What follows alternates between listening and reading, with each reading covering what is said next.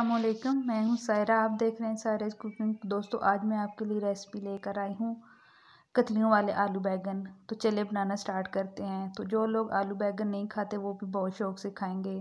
तो चलें रेसिपी देख लेते हैं कि हमने कैसे बनाई है।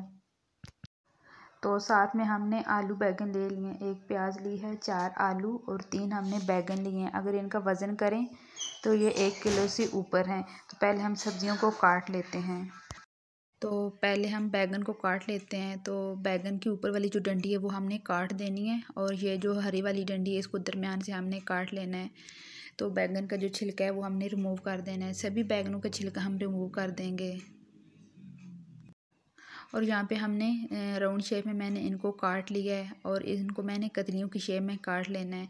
तो सभी बैगन को मैं इसी तरह काट लूँगी और साथ में हमने पानी ले लेना है और पानी में हमने बैगन को रख देना है क्योंकि हमारे बैगन काले ना पड़ जाएँ।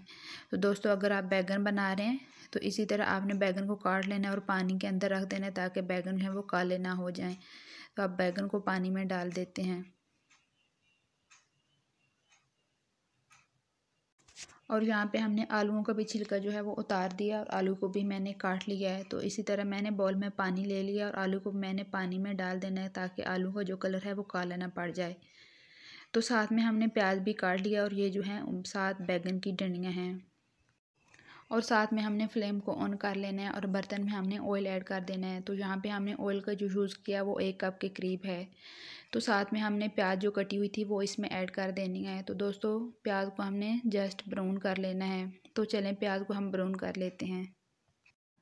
और यहाँ पे हमारे जो प्याज हैं वो ब्राउन हो गए हैं। तो साथ में हमने ऐड कर देना है एक टमाटर और साथ में हमने बैगन के जो ऊपर वाली हरे वाली डंडियाँ उतारी थी, वो इसमें ऐड कर देनी है। तो इन दोनों चीज़ों को हमने इसमें फ्राई कर लेना है प्याज में। और तीन चार मिनट के बाद फ्राई कर लेने के बाद यहाँ पे हमने आलू ऐड कर देने हैं। तो दोस्तों, यहाँ पे आप देख सकते हैं आलू का कितना अच्छा कलर है ये कितने फ्रेश लग रहे हैं। बिल्कुल ये भी काले भी नहीं हुए।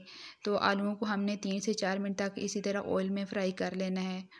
फ्राई इसलिए कर रहे हैं ताकि आलू जो हैं वो सालन में बाद में टूटे ना।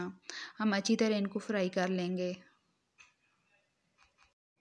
और आलूओं को फ्राई कर लेने के बाद यहाँ पे हम मसालों को ऐड करेंगे। सबसे पहले हम ऐड करेंगे हाफ़ टी स्पून हल्दी और साथ में हम ऐड कर देंगे हाफ़ टी स्पून धनिया पाउडर और साथ में हमने ऐड कर देना है लाल मिर्च का पाउडर वन एंड हाफ़।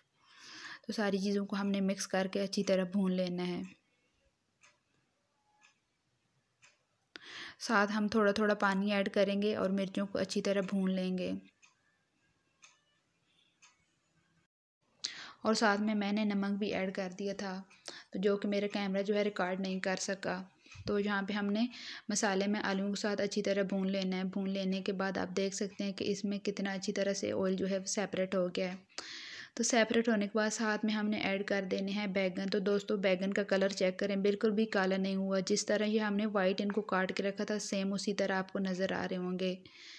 तो सारे जो बैगन हमने इसमें ऐड कर देने हैं। ऐड करने के बाद हमने सारे मसाले के साथ इनको अच्छी तरह से भून लेना है, ऊपर नीचे तक हमने इनको मसाले के साथ फ्राई कर लेना है।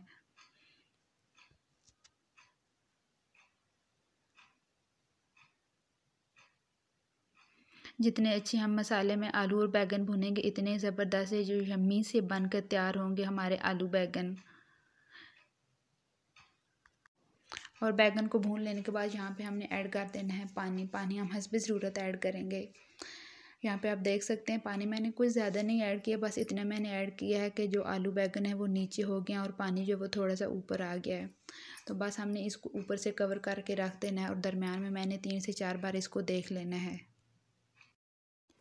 और यहाँ पे आप देख सकते हैं, पानी कितना खुश्क हो गया। अगर आप शोरबे वाले रखना चाहते हैं तो बस आप इसको यहाँ पे फ्लेम को ऑफ़ कर दें। और ये वाले जो शोरबे वाले आलू बैग हैं ना, आप इनको चावलों के साथ सर्व कर सकते हैं, जो बॉयल किए हुए वाइट वाले चावल होते हैं। तो यहाँ पे हमने मिर्चों को ऐड कर दिया है। दो हरे वाली और एक हमने लाल मिर्च इसको मैं ऐड कर दी है। तो बस हमने इसको ऊपर थोड़ा सा धनिया जो है वो स्प्रिंकल कर देना है। और हमने इस यहाँ पे फ्लेम को ऑफ़ कर देना है, क्योंकि जो आलू हैं वो बाद में पानी जज़ब कर लेते हैं और यहाँ पे इसने आलू बैगन का जो सालन है वो घना हो जाएगा और जो ऑयल है वो ठंडा होने के बाद भी सेपरेट हो जाएगा।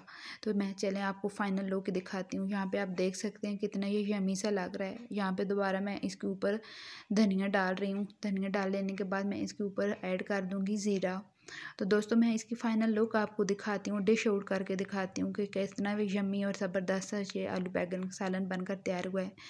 इसमें इतने मसाले भी नहीं जाते, बस घर में जो आम रूटीन में मसाले होते हैं वही इसमें ऐड होते हैं। तो दोस्तों अगर मेरी आज की रेसिपी आपको अच्छी लगी हो तो प्लीज़ मेरी वीडियो को लाइक शेयर एंड सब्सक्राइब ज़रूर किया करें। इसी तरह मैं आपके लिए न्यू रेसिपी लेकर आती रहूँगी। तो मुझे अपनी दुआ में याद रखना। अल्लाह हाफिज़।